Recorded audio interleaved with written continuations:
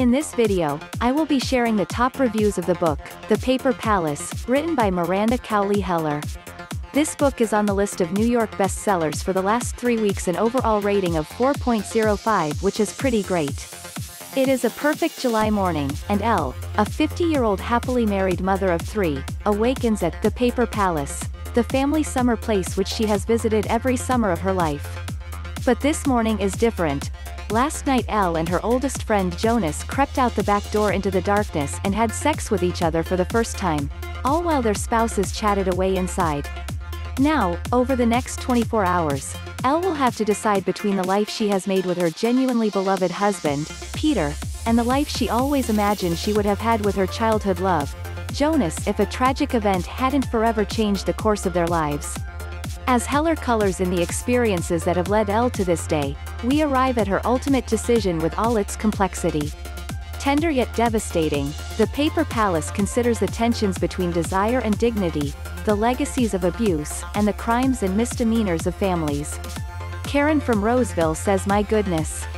I loved this book. Perfect to read right now too. A family spending all their summers on Cape Cod. A family that has dealt with some devastating history. There's so much more to this story than what the synopsis states. So many layers. So much that many of these characters have endured. You'll laugh, gasp, feel enraged, so many emotions. The perfect read for me. Oh, and just beautiful descriptions of the land and sea. Claire from the United Kingdom says I loved this book. The proof, thanks to the publisher, had sat on my shelf for far too long, and when I finally pulled it down, I read it in a day and a half, because I couldn't stop.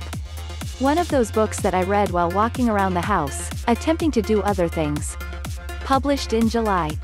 Every summer Elle goes to The Paper Palace, with her family, husband, three children and mother, a series of cabins in the woods on the Cape. She's been going there since she was a child when she became friends with the neighbors, including Jonas.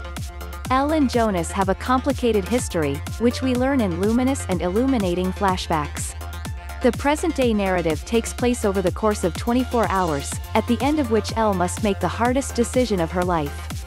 In rich and sensuous prose, Cowley Heller, cracks open the human heart and exposes her character's choices, the paths not taken and the devastating consequences. I smelled the old cabins and the backwoods, felt the pond water lapping around my ankles, experienced the love and loss of family.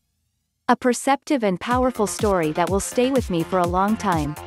Barbara from Florida says the story begins with Elle beginning her day after consummating a lifelong crush relationship with a man, Jonas, who she's known since she's been a child.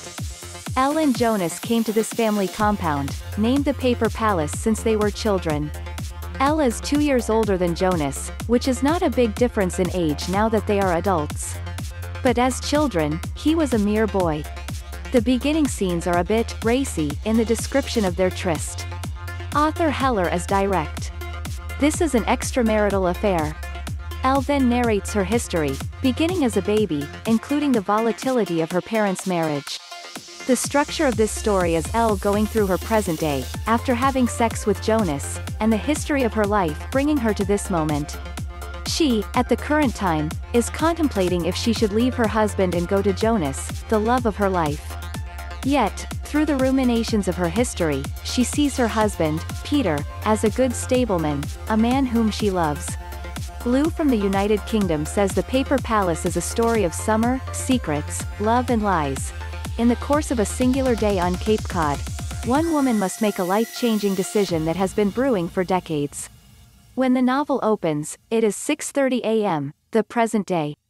Elle Bishop, a 50-something happily married mother of three, wakes at dawn and heads down to the pond for her morning swim. She is staying at her mother's summer camp, nicknamed the Paper Palace, on a freshwater kettle pond in the backwoods of Cape Cod. As Elle plunges naked into the bracing water, she thinks about what she has done the night before. How, in the middle of her mother's dinner party, she and her oldest friend Jonas crept out the back door into the darkness and had frantic, breathtaking sex for the first time while their spouses chatted away inside. Over the next 24 hours Elle will have to decide between the life she has made with her genuinely beloved husband, Peter, and the life she always imagined she would have had with Jonas, If only they hadn't had to carry the shame of a tragic event from their youth. Kelly from the States says after having a fail with everyone else's summer fave 7 days in June I had sworn myself off of Reese's book club picks.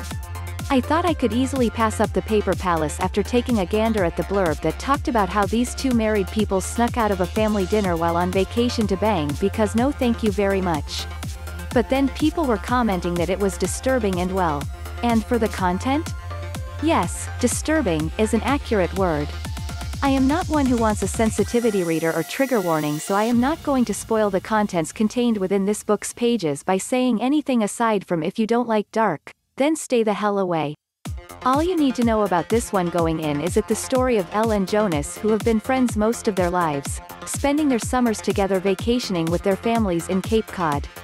This book is all about secrets of the past and what they can do to a person.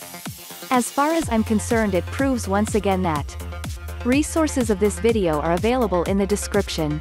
Feel free to check them out.